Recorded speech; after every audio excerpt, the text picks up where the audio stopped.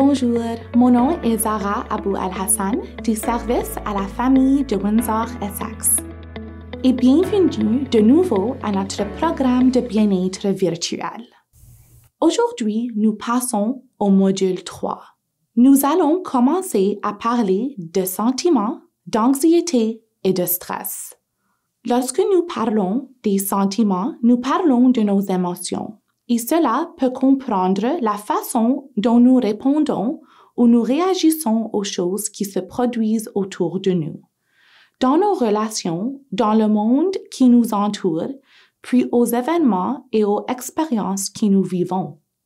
Et nous utilisons un vocabulaire sentimental ou émotionnel pour décrire ce que nous ressentons face à ces événements ou les expériences de nos vies. En raison du fait que les événements ou les expériences que nous vivons dans nos vies changent constamment, il est naturel que nos sentiments ou nos émotions changent également. Pensez au mot réaction qui contient le mot action. Donc, une émotion est l'action de réagir.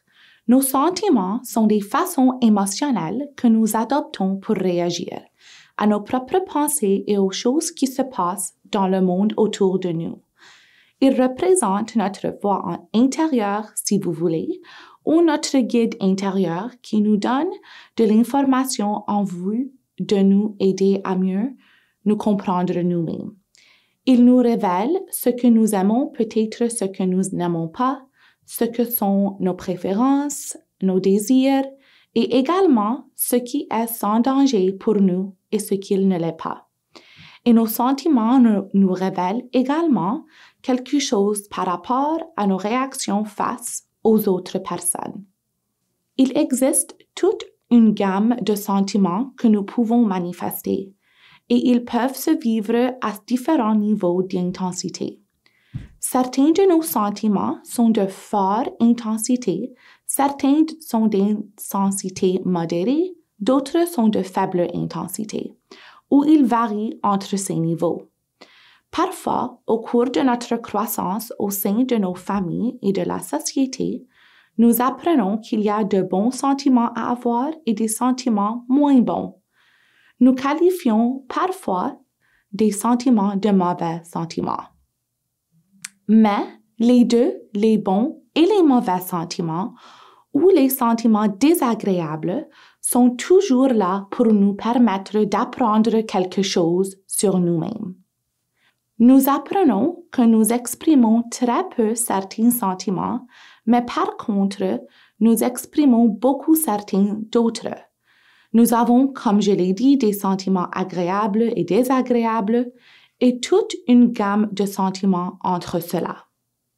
Alors, parlons donc de certaines perspectives saines relatives à nos sentiments.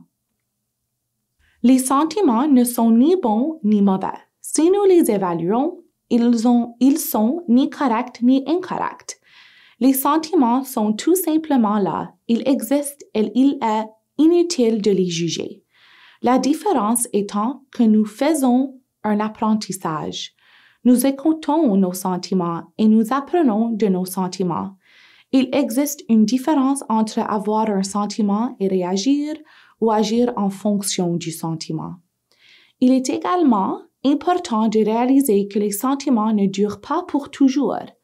Peu importe le sentiment que vous avez, Éventuellement, ce sentiment changera ou passera et un autre sentiment prendra sa place. Lorsqu'un sentiment intense survit, vous n'avez pas nécessairement besoin d'agir en fonction de ce sentiment. Tout ce que vous avez besoin de faire est de le reconnaître en espérant pouvoir le comprendre et ainsi apprendre à mieux vous connaître vous-même par le fait que vous ressentez fortement cette émotion. Il faut également savoir que les sentiments ne sont pas des faits. Lorsque les sentiments sont très puissants, ils peuvent parfois donner l'impression qu'ils vont aussi devenir la réalité. Vous ne pouvez pas vous débarrasser de vos sentiments jusqu'au moment où vous souhaitez les changer.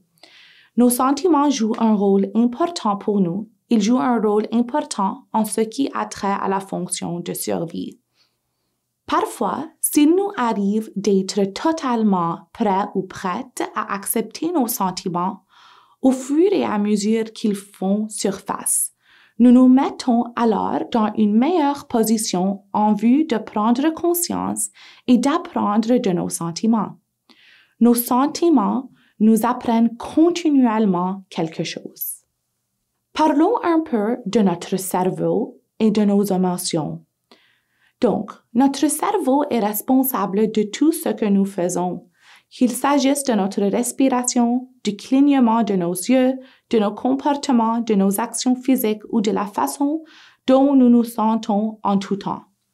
La plupart des choses, comme les films ou les rêves déplaisants, ne sont pas excitantes ou épeurantes à moins que notre cerveau décide qu'elles le soient.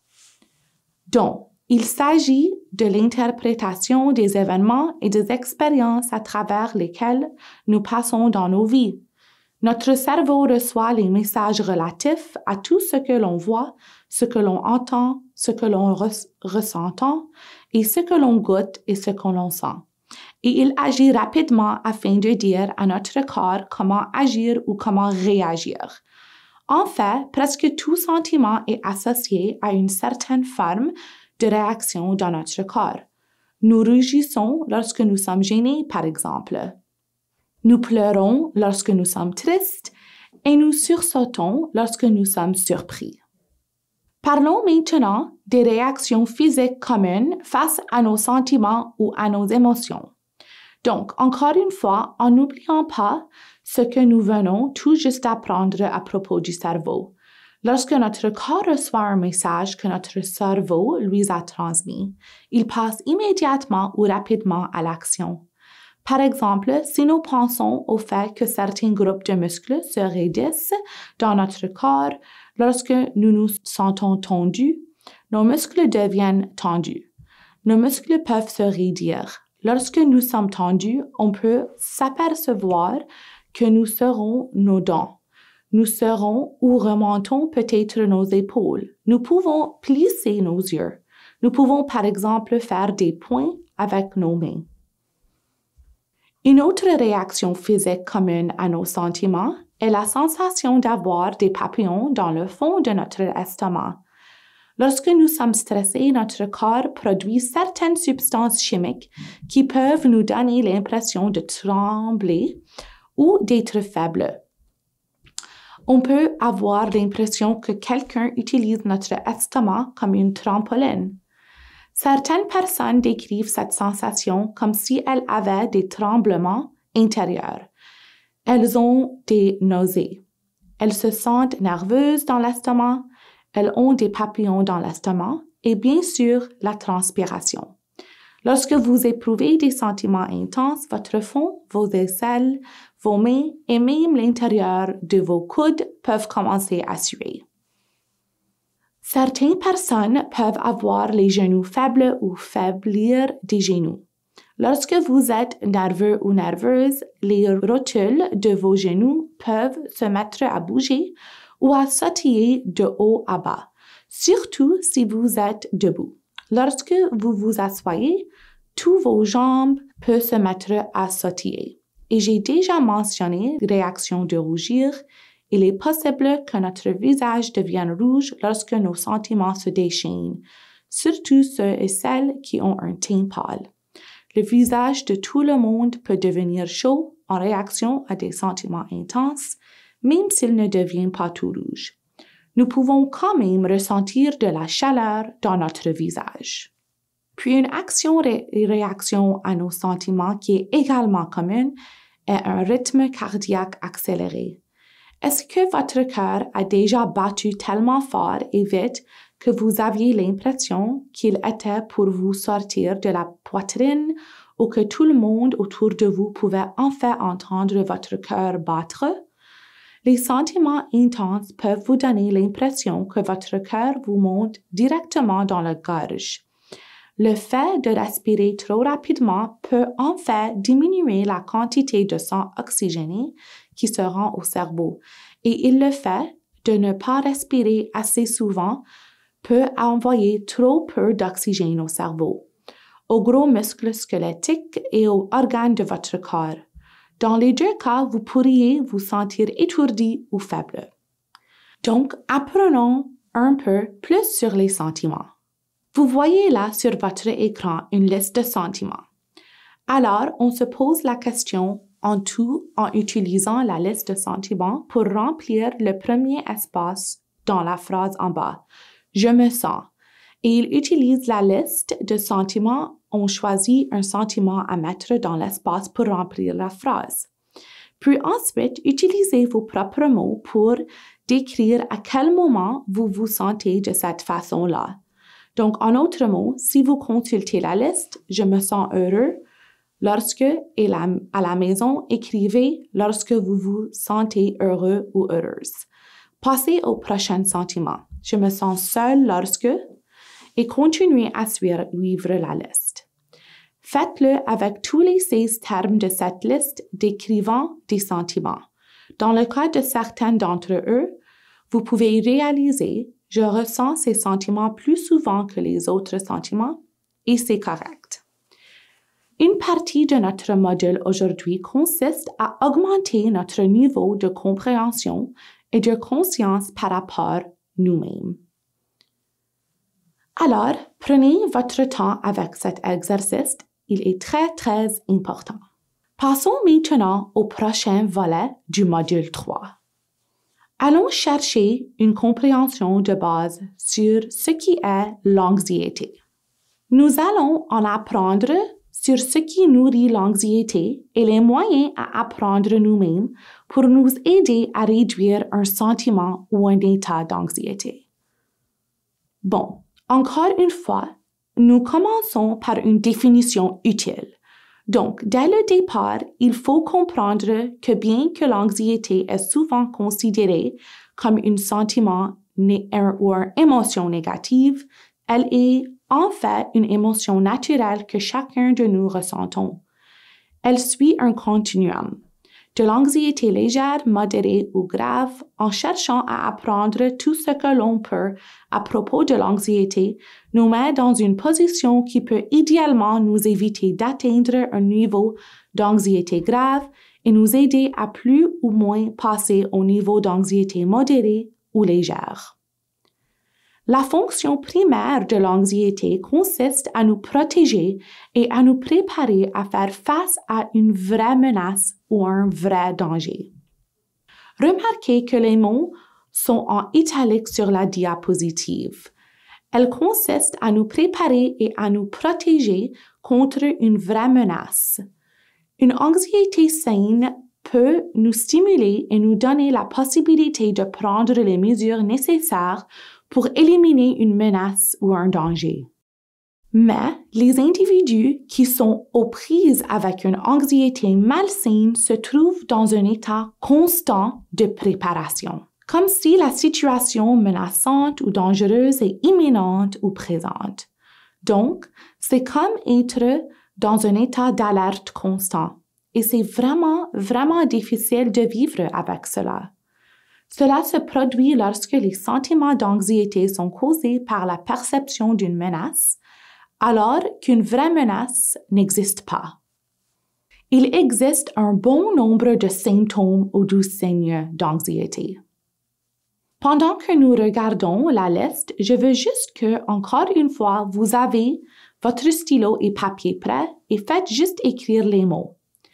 Faites un crochet à côté de ce que vous avez déjà ressenti, étant donné que cela se rapporte à la façon que l'anxiété se manifeste dans vos propres mots.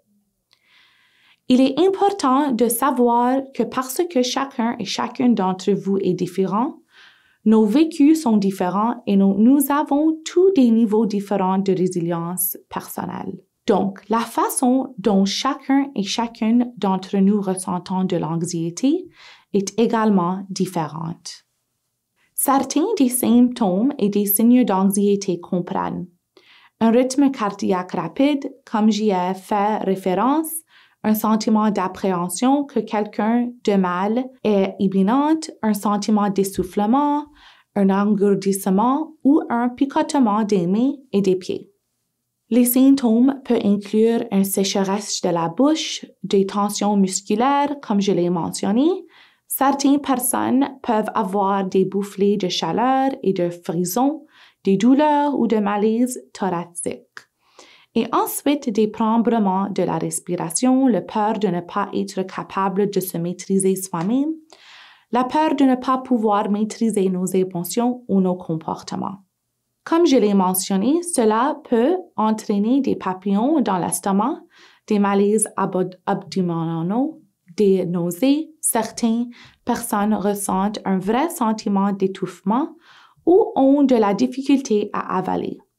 Certaines personnes ont des pensées en rapport avec la peur de mourir et comme je l'ai mentionné, des faiblesses et des étourdissements. Donc, Qu'est-ce qui nourrit un état d'anxiété en nous en tant que personne? Il existe un bon nombre de raisons. Une d'entre elles est que nous évitons la situation que nous croyons menaçante ou qui provoque de l'anxiété. Le fait d'éviter les situations qui déclenchent des sentiments d'anxiété peut procurer un soulagement immédiat de ces sentiments.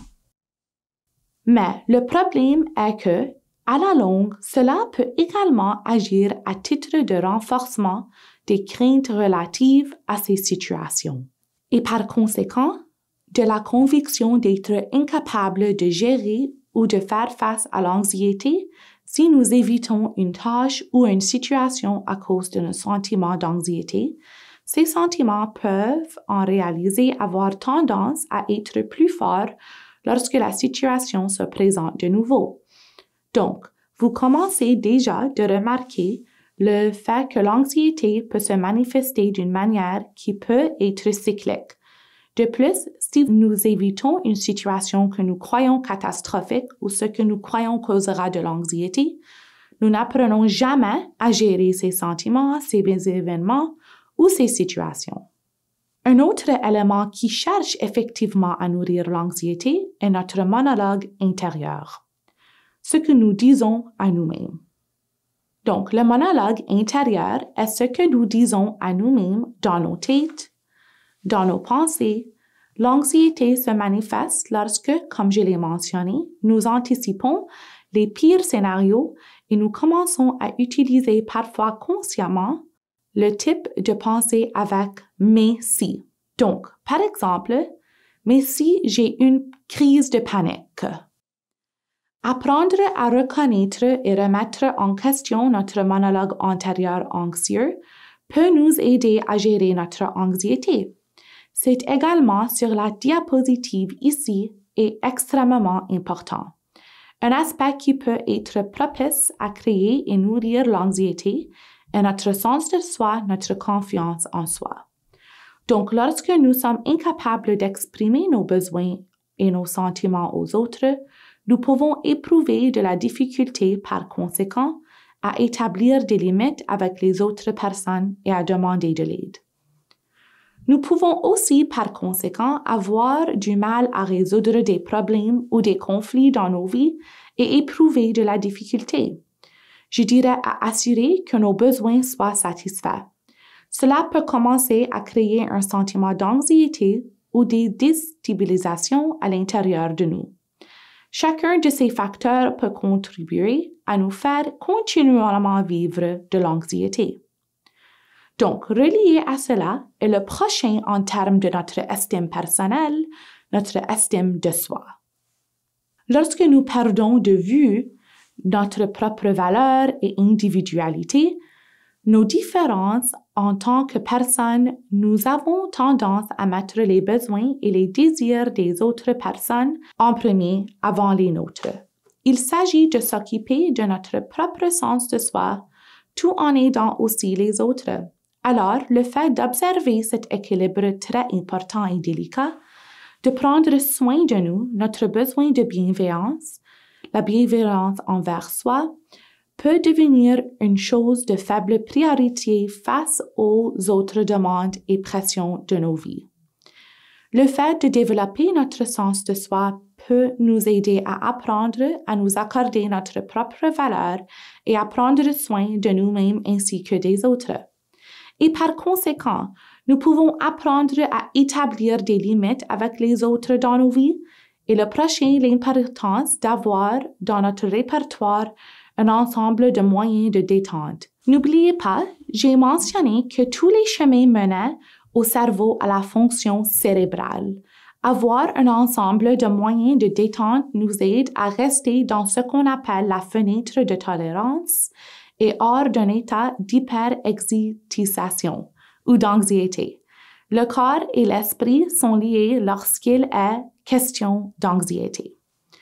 Beaucoup de choses peuvent se produire dans notre corps. Alors, nous commençons à constater la notion que les sensations physiques qui ont lieu dans notre corps résultant de l'anxiété deviennent en fait nos indices très importants pour reconnaître ah, je dois avoir une pensée anxieuse parce que je peux sentir de la nervosité dans mon estomac.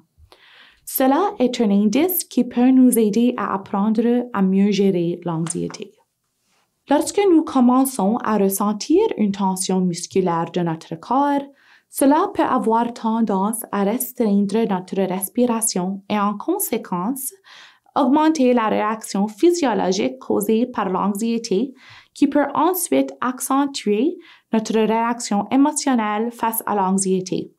Les deux étant très très liés, donc pratiquer, apprendre, connaître trois à cinq différents types de techniques de détente peut nous aider à atténuer les réactions physiologiques engendrées par l'anxiété qui se produisent dans notre cerveau et dans notre corps.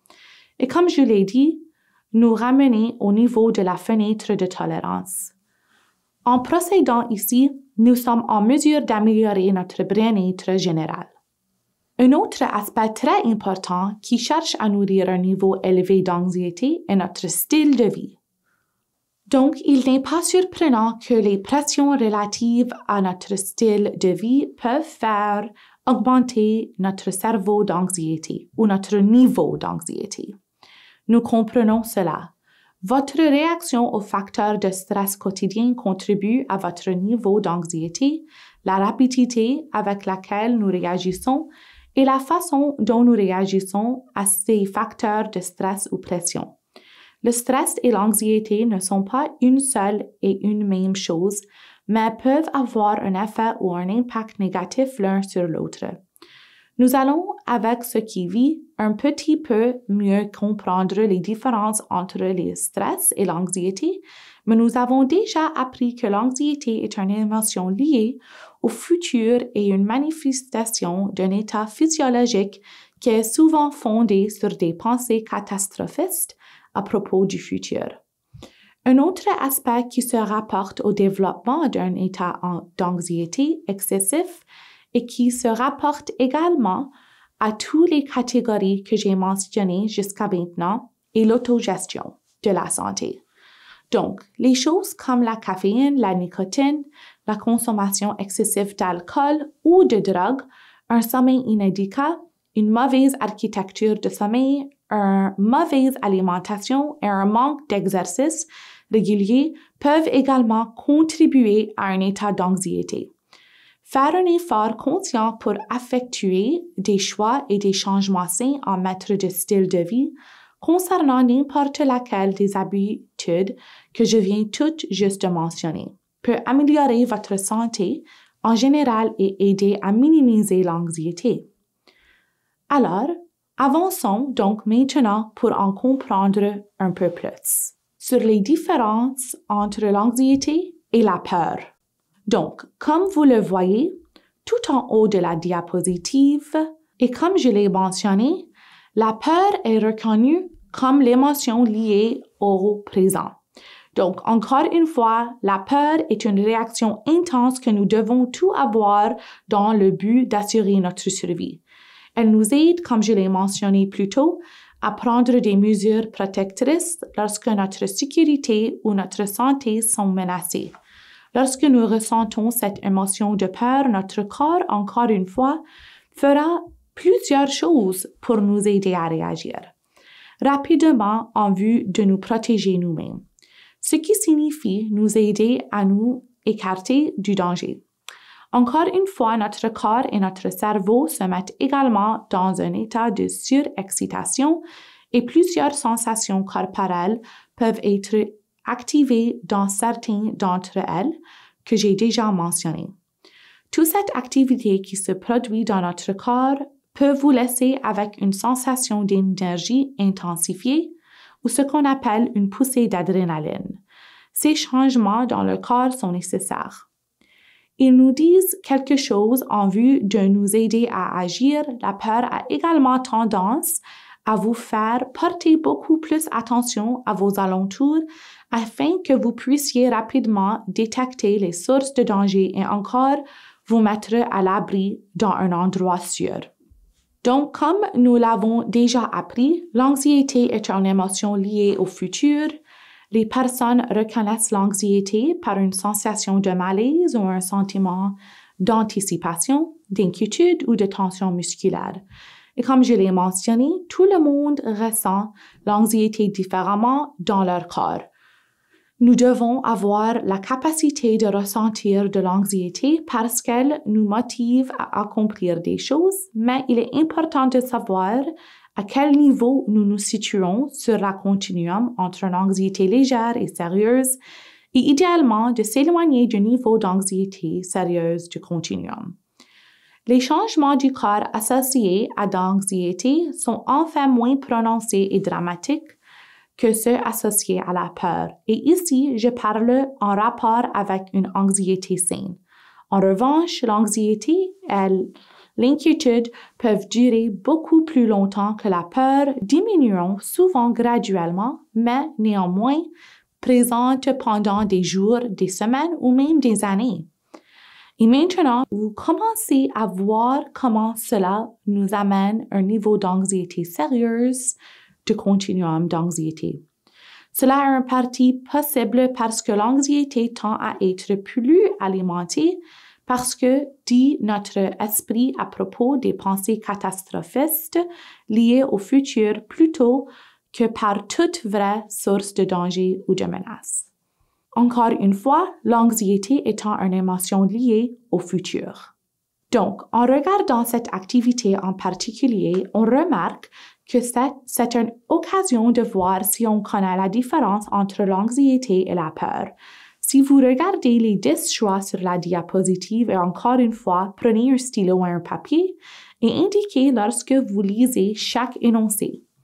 Si vous pensez que l'événement qui figure là sur la liste sera plus susceptible de vous causer de l'anxiété, ou si vous pensez que l'événement sera plus susceptible de vous causer de la peur, donc, par exemple, si vous voyez un ours dans le bois, est-ce que cela vous causerait de l'anxiété ou cela vous causerait de la peur?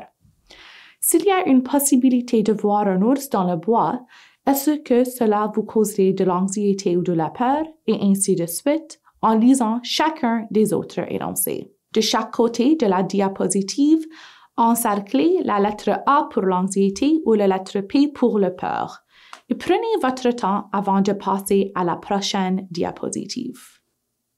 Commençons à comprendre des différentes façons que nous pouvons apprendre à mieux gérer notre anxiété.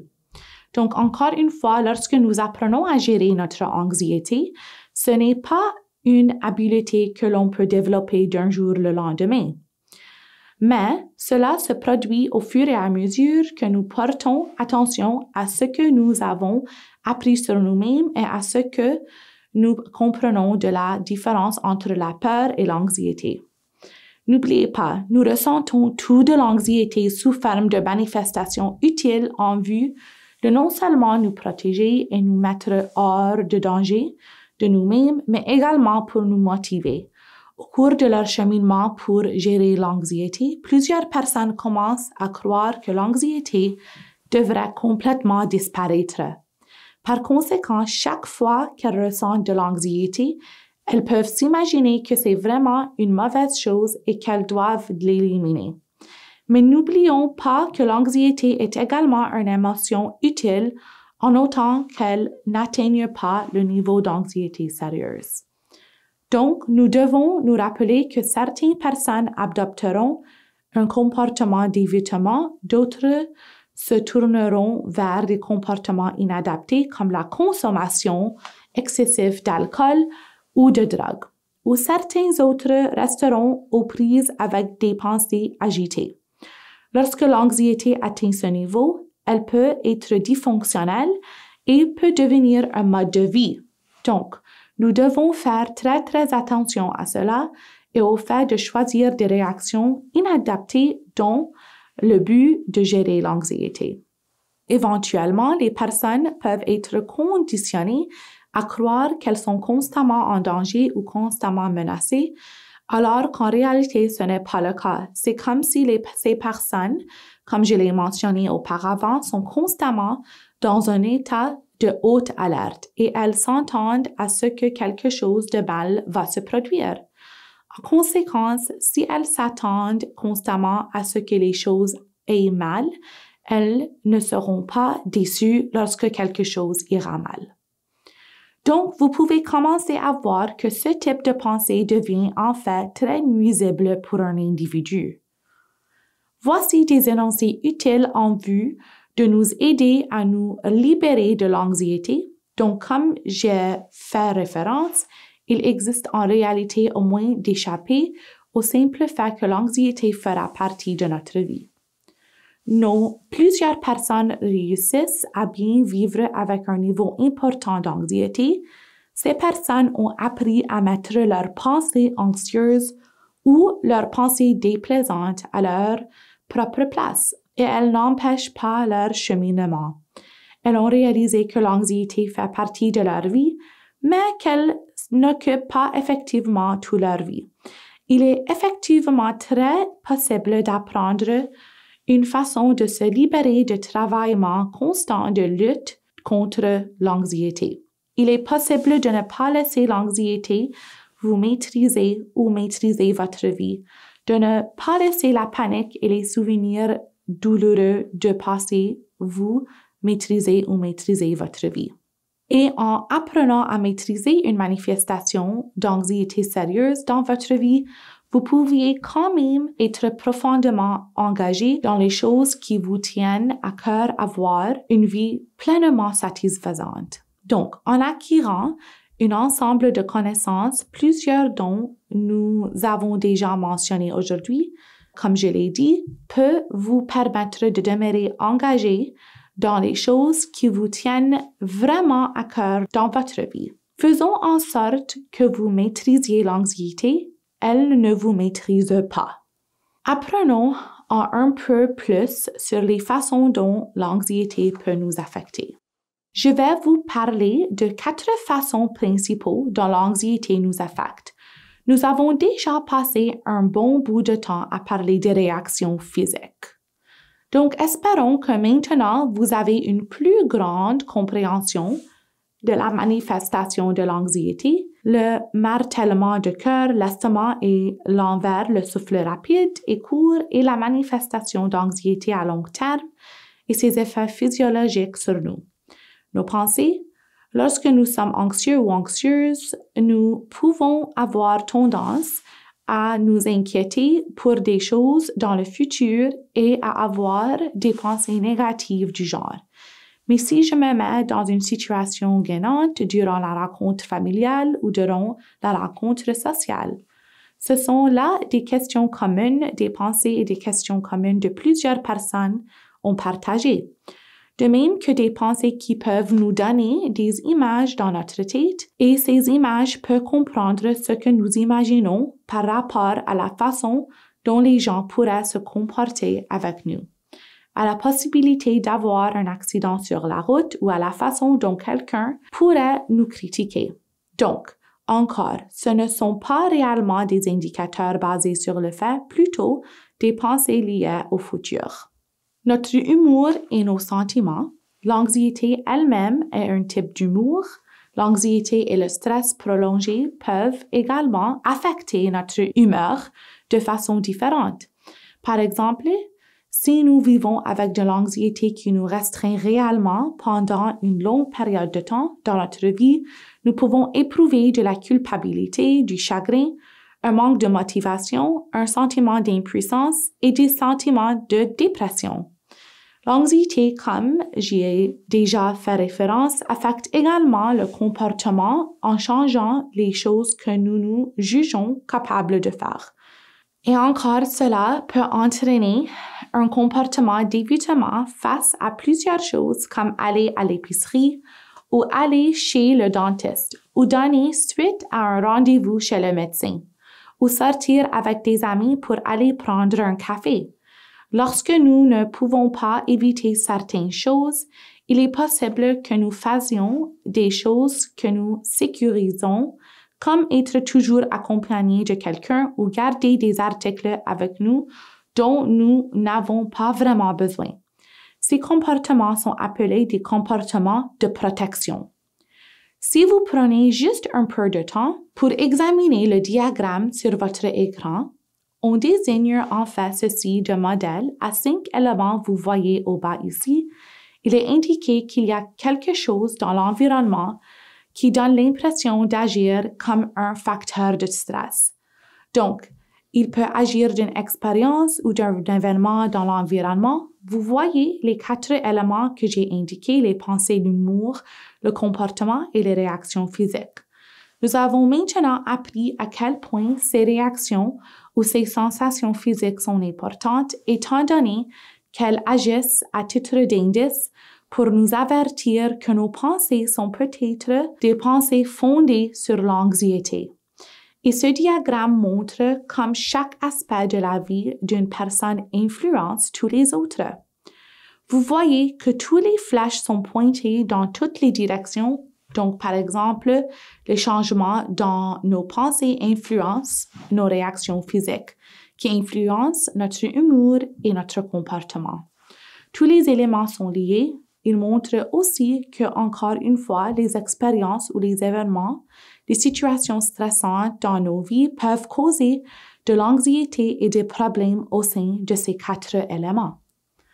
Donc, si nous songeons aux pensées fondées sur l'anxiété comme étant notre inquiétude à propos de quelque chose qui peut se produire dans le futur, voici certains des outils que nous avons en vue de commencer à abandonner nos inquiétudes ou ne pas nous concentrer autant sur des inquiétudes liées au futur. Nous ne pouvons pas abandonner quelque chose si nous ne savons pas que nous l'avons au départ. Donc, il s'agit de prendre conscience de soi et de nos pensées. Donc, une des premières étapes consiste à simplement remarquer, remarquer et reconnaître que vous êtes enfin inquiet ou inquiète de quelque chose. Vous pouvez prendre un moment pour commencer à écrire ces pensées basées sur l'inquiétude et nous les remarquons et nous le reconnaissons sans jugement. C'est un processus d'apprentissage que nous abordons. Donc, vous serez peut-être capable de faire cela en vous disant à vous-même quelque chose comme Je peux ressentir dans mon corps qu'une inquiétude fait surface. Je n'ai jamais porté autant d'attention avec ce que je lui porte maintenant, avec ce que j'apprends dans ce module et deux autres modules. Voilà la pensée d'inquiétude qui fait surface de nouveau. Et comment que je peux savoir ça? Parce que je peux ressentir la sensation physiologique dans mon corps et que je sais maintenant que c'est un indice. Donc, je remarque maintenant que je m'inquiète, je vais noter, je vais écrire que ce qu'est ma phrase basée sur l'inquiétude. Le suivant, il existe une différence entre réagir et vraiment réagir, réagir avec une nouvelle prise conscience. J'ai parlé un peu plus tôt du processus cyclique des pensées anxieuses. Les personnes finissent par poursuivre leur inquiétude en rond dans leurs pensées et comme résultat, elles peuvent essayer de maîtriser ces pensées avec des moyens malsains. Au contraire, comme nous l'avons appris à la première étape, il est important de développer l'habileté de juste les observer, juste remarquer la pensée basée sur l'inquiétude, encore une fois sans jugement mais il est également important de ne pas réagir à la pensée basée sur l'inquiétude. Décrivez-vous à vous-même la pensée que vous avez, écrivez-la au complet, écrivez le sentiment qu'elle vous fait ressentir, les sensations physiques que vous ressentez dans votre corps, donnez simplement libre cours aux inquiétudes sans réagir, sans remédier et sans essayer de les changer de quelque façon que ce soit. Cela peut prendre un certain temps à développer de l'efficacité avec cette habileté en particulier. Lorsque nous avons examiné nos pensées basées sur l'inquiétude, cela nous met dans une position où nous pouvons commencer à les abandonner, même si c'est juste une à la fois. Mais cela arrive seulement après avoir premièrement reconnu, observé et décrit les inquiétudes que vous avez. Donc, nous utilisons ici un peu de visualisation. Et tout le monde est différent. Mais si vous avez pris le temps de décrire ce qui la pensée basée sur l'inquiétude sur une feuille de papier et que vous l'avez encadré ou encerclé, vous pouvez ensuite visualiser comment vous désirez d'abandonner cette pensée? Par exemple, mes inquiétudes ne sont pas des faits. Elles ne représentent pas la réalité ou la vérité. Elles ne sont que des pensées que j'ai eues. Elles ne me sont pas utiles. Je prends maintenant la décision d'abandonner cette pensée singulière basée sur l'inquiétude. Trouvez votre propre façon d'utiliser la visualisation pour abandonner cette pensée. Et l'importance de ceci concentrer sur le présent, ce qui signifie ne pas retourner dans le passé et ne pas aller dans le futur. Le futur n'est pas encore ici. Donc, une fois que vous avez pensé à l'étape de vous dire à vous-même d'abandonner ou de laisser passer une inquiétude, il est important à ce moment de vous concentrer sur le moment présent. Encore une fois, lorsque nous nous inquiétons, nous sommes concentrés sur le futur et sur les choses qui pourraient arriver, choses dont nous ne pouvons pas être certains ou certaines, pour lesquelles nous n'avons pas de preuves parce que le futur n'est pas ici maintenant. Si vous vous concentrez plutôt sur les choses simples qui se produisent dans le moment présent, il est donc impossible de laisser ces pensées basées sur l'inquiétude vous affecter. Être présent ou présent dans le moment présent peut sembler comme un concept étrange ou différent au départ, mais avec de la pratique et de développement de cette habileté, cela devient plus facile avec le temps. Il est ensuite question de prendre plus ample conscience de vos indices physiologiques, de votre respiration, de fait que vous contractez ou non vos muscles, que vous avez un ou un rythme cardiaque lent ou rapide. Écoutez votre corps et portez attention à vos alentours au moment présent où les choses ont lieu. Une chose pour laquelle il nous arrive rarement de nous arrêter pour y penser. Donc, essayez toujours d'inclure ce qui se produit avec vos sensations physiologiques à ce moment dans le moment présent. Comme vous pouvez le voir dans le bulle, cela exige beaucoup de pratique. Mais en vous concentrant sur le moment présent, vous développerez éventuellement l'habilité de laisser passer vos pensées basées sur l'inquiétude. Donc, en regardant cette diapositive, nous commençons également à constater qu'il existe plusieurs autres habiletés dont nous pourrions bénéficier lorsque nous nous sentons anxieux ou anxieuses. Vous utiliserez certains d'entre eux seuls et qui utiliseraient certains entre eux ensemble. L'habilité que vous choisirez d'utiliser peut dépendre de l'événement ou de l'expérience. Donc, dès le début, vous voyez ici l'importance de votre respiration qui vous aide à vous régulariser vous-même. Elle nous aide à régulariser les fonctions de notre cerveau et à repousser la production de cortisol dans notre cerveau qui augmente les effets physiologiques et émotionnels du sentiment d'anxiété. Ajustez le rythme de votre respiration en comptant lentement jusqu'à 5 alors que vous inspirez profondément, puis retenez votre souffle pendant l'équivalent de deux respirations et expirez en comptant lentement jusqu'à 7. Tout le monde est différent. Certains et certaines d'entre nous devons compter quatre respirations au moment d'inspirer, retenir notre souffle pendant une respiration. et expirez en comptant un total de six respirations. Trouvez ce qui fonctionne pour vous. Le point est le fait que nous allons ralentir notre respiration. Pratiquez un monologue intérieur positif. Il y a bien des chances que votre monologue intérieur ait été jusqu'à maintenant négatif. Écrivez une liste de phrases positives et mettez-la sur la porte de votre réfrigérateur.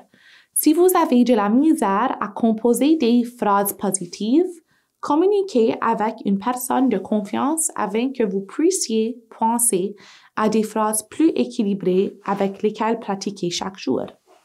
Donc, vous êtes capable de remettre en question vos pensées négatives au moyen de pensées positives. Du point de vue physiologique, lorsque vous vous asseyez, mettez vos yeux, vos deux pieds en terre. Si vous êtes assis ou assise sur une chaise, tenez les accoudoirs ou appuyez votre dos contre le dossier de la chaise. Ancrez-vous au moyen de ces zones physiologiques tactiles. Regardez autour de vous, prenez conscience où vous êtes à l'instant, dans le moment présent, et essayez de vous concentrer sur ce qui passe autour de vous à l'instant. Tapez vos mains ensemble dix fois et notez la sensation dans vos mains. Notez également le son, le tapement de mains fait. Trouvez une activité pour vous distraire, comme écouter de la musique, jouer la guitare, travailler la terre dans votre jardin, visionner votre film préféré, regarder de nouveau ou relire un de vos livres préférés. Une autre façon de gérer les manifestations physiologiques de l'anxiété est d'utiliser la détente musculaire progressive. En commençant par la pointe de vos orteils, contractez puis relâchez ce groupe de muscles et continuez ce processus de la tête aux orteils ou des orteils à la tête. Contractez et relâchez, contractez et relâchez séparément chacun des groupes de muscles.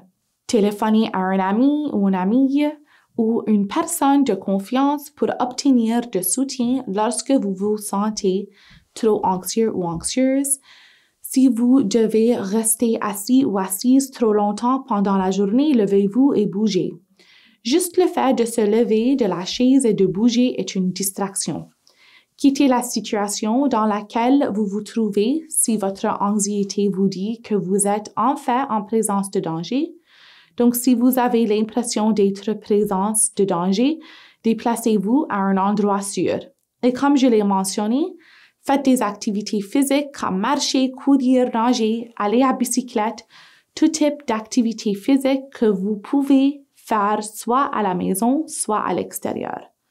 Parfois, un point très important dans la réduction de l'anxiété est de se mettre dans la bouche soit un bonbon sûr ou un bonbon sucré.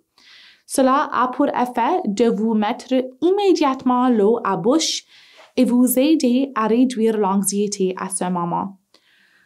Vous vous en servez également comme technique de distraction qui par conséquent entraînera la réaction de détente. Prenez un bain relaxant ou une douche relaxante. Entreprenez une activité intellectuelle que vous appréciez comme compléter des mots croisés un casse-tête, un tableau de peinture, toute activité que vous pouvez pour votre propre expression artistique. Et finalement, commençons maintenant à parler du stress.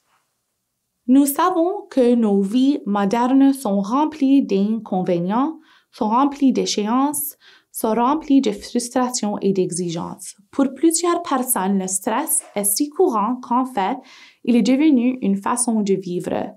Les gens parlent souvent des facteurs stressants dans leur vie, mais encore une fois, avoir du stress n'est pas toujours mauvais. Bien que nous voulions qu'il se présente sous forme de petites doses, le stress peut nous aider à performer sous pression. Il peut nous motiver à faire de notre mieux ou à accomplir des choses. Et cette réaction est appelée la réaction de lutte ou de fuite ou d'immobilité ou la réaction au stress. Encore une fois, tout ce qui se passe dans notre cerveau provoque ensuite un effet de cascade de réactions physiologiques dans notre corps. Il existe un bon nombre de sources de stress. Nous avons une sorte de stress habituel ou anticipé ou un stress prévu. La plupart des gens ressentent ce type de stress dans le cadre de la vie quotidienne. Cela comprend des événements qui représentent souvent les transitions dans nos vies. La liste des exemples est écrite ici. Le processus de vieillissement, peut-être l'union pour un mariage ou l'engagement dans une relation. Un déménagement, un changement de lieu, passer des fêtes avec des personnes ou sans personnes, un changement d'emploi, aller faire l'épicerie, attendre en ligne à la banque, payer nos comptes. Et puis, nous avons des événements imprévus dans nos vies, dont certains d'entre eux peuvent être décrits comme étant des événements chocs ou tragiques. Par exemple, quand quelqu'un est impliqué dans un accident, quelqu'un est victime d'un crime, quelqu'un qui est confronté à la perte d'une relation ou un décès, ou quelqu'un perd soudainement un certain aspect de santé. Nous avons également des sources de stress qui sont reconnues comme étant progressifs ou cumulatifs avec le temps. Ce type de stress a tendance à s'accumuler au fil du temps, mais il est quand même considéré comme faisant partie des épreuves de la vie quotidienne. Mais encore une fois, en sachant ce que nous savons déjà, le fait d'être attentif ou attentif à nos pensées et nos sensations corporelles peut nous donner des indices quant au développement de stress accumulé et nous indique si nous avons besoin de prendre des mesures pour le minimiser. Tel indiqué sur la liste ici, les exemples comprennent des choses comme des problèmes non résolus dans les relations, parfois des conflits entre parents et enfants, parfois le fait d'avoir faire le temps supplémentaire. Comme je l'ai mentionné, il peut s'agir de la perte d'un aspect de notre santé au fil du temps qui a lieu sur une très longue période de temps et parfois il peut s'agir des problèmes non résolus de la famille d'origine qui continue d'avoir un effet sur nous à ce jour. Ensuite, il est également le stress lié aux traits de personnalité. Cela a plus ou moins rapport avec le type de personne que nous sommes. Un trait de personnalité, si vous voulez, qui nous rend prédisposés à l'anxiété ou à la façon dont nous réagissons aux situations, nous commençons à voir que le stress lié au trait de personnalité est relié à certains des événements que j'ai mentionnés au début du module.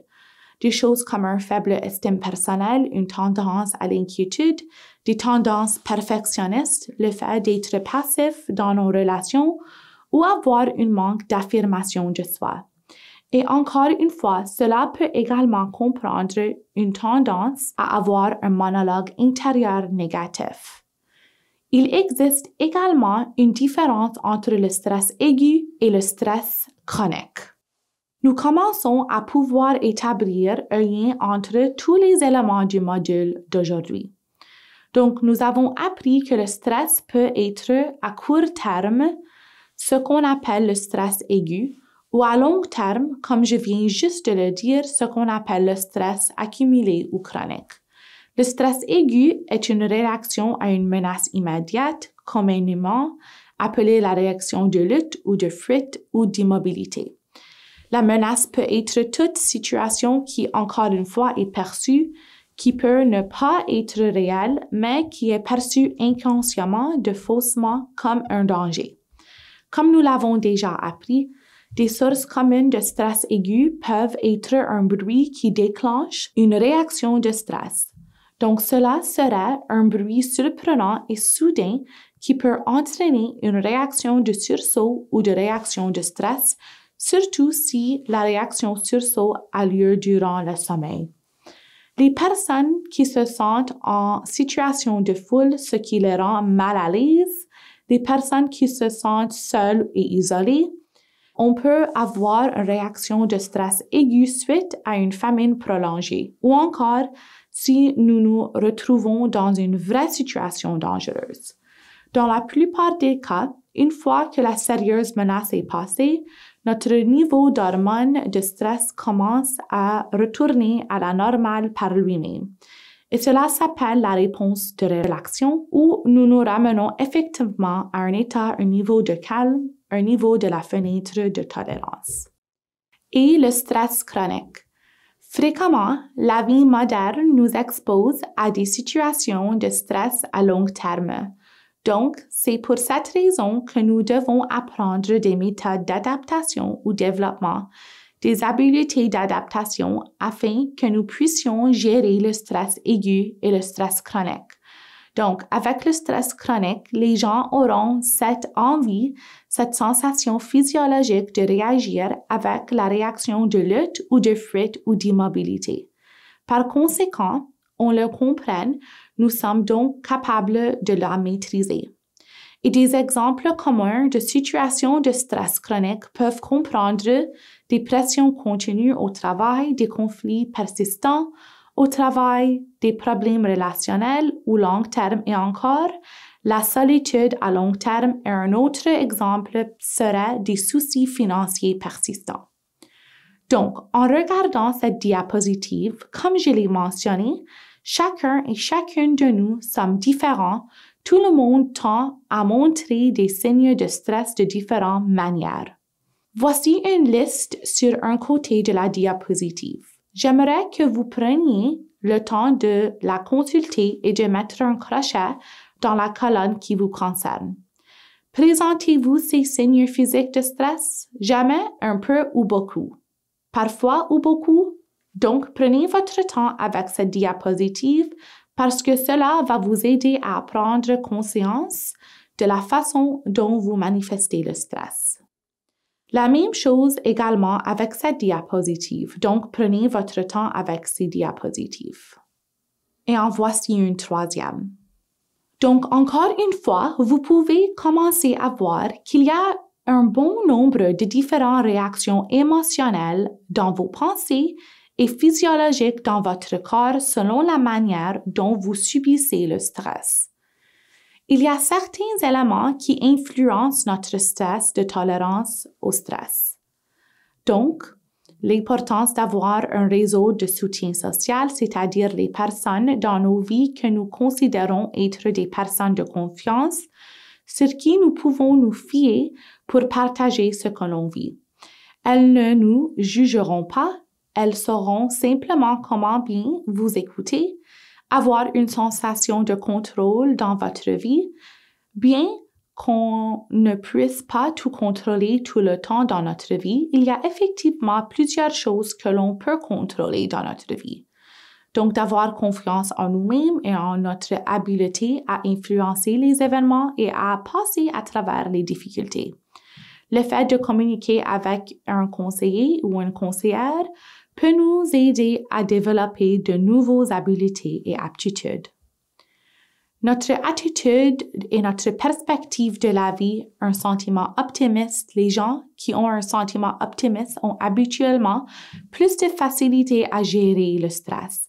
Ils relèvent les défis, ils peuvent avoir un bon sens de l'humour et ils accepteront que les changements fassent en fait partie de la vie et notre habileté à gérer nos émotions. Cette habileté d'équilibrer nos émotions et de les ramener au niveau de la fenêtre de tolérance. Et que nous avons l'habileté de nous rétablir, nous redresser après et durant les moments difficiles et en utilisant toutes les habiletés déjà mentionnées en vue de nous aider à arriver à équilibrer nos émotions.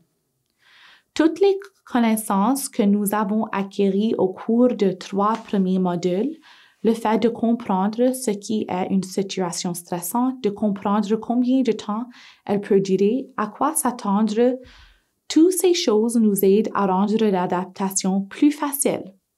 Si vous allez vous faire opérer, par exemple, avec une idée réaliste par rapport à quoi vous entendez, et que vous obtenez autant d'informations que possible à propos de cet événement ou cette expérience.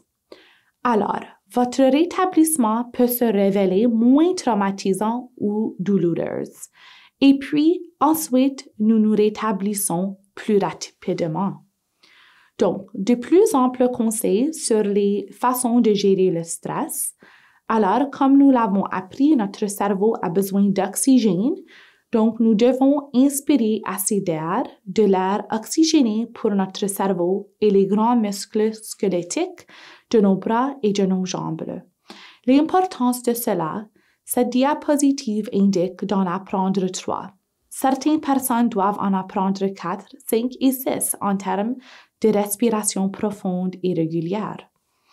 Lorsque nous ressentons de la tension, encore une fois, le bénéfice de contacter nos muscles puis de les relâcher, parfois nous pouvons devenir tendus sans même nous en rendre compte. Donc, pratiquez vous à prendre conscience de ce qui se passe dans tous vos différents groupes de muscles en gardant chaque groupe de muscles contracté.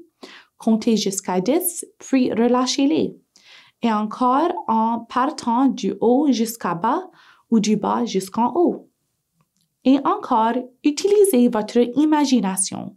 Fermez vos yeux, puis servez-vous de la visualisation pour voir l'image de votre endroit calme et relaxant préféré.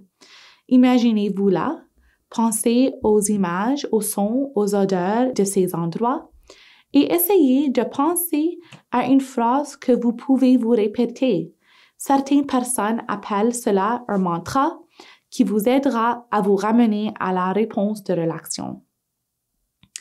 Faites appel à votre sens de l'humour, l'importance de faire de l'exercice et de faire bouger tous vos groupes de muscles.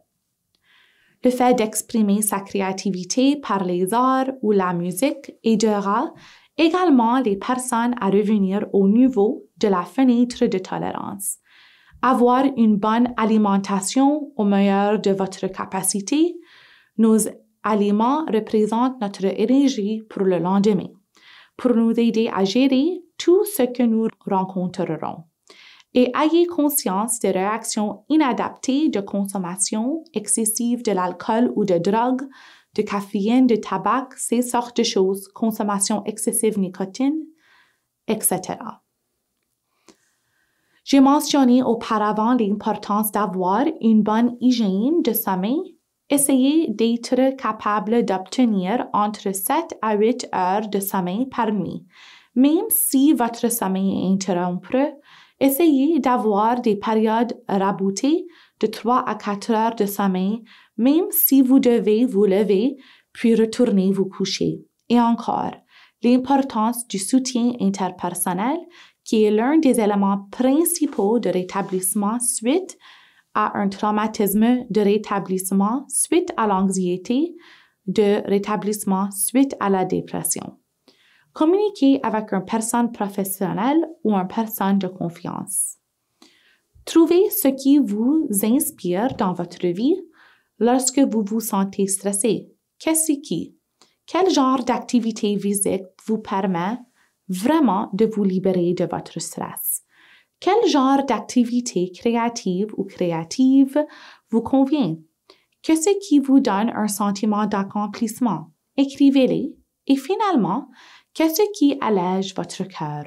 Parfois, il s'agit de pleurer un bon coup. Parfois, il s'agit de prendre des respirations profondes. Il s'agit d'être en plein air, de parler avec une personne de confiance ou d'autres types d'exercices détente, d'avoir un sens d'humour, d'échanger avec quelqu'un qui a un sens d'humour. Cela nous amène à la conclusion du module 3 le prochain module est le module 4.